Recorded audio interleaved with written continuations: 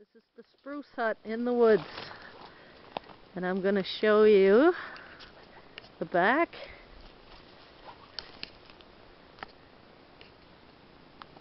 And it's four lean-tos put together. So this is the first side.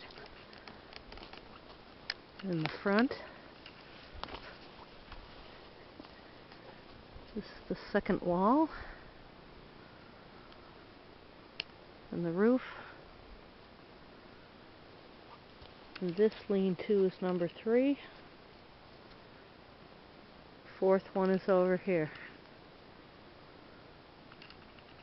The roof again. The fire pit in the middle.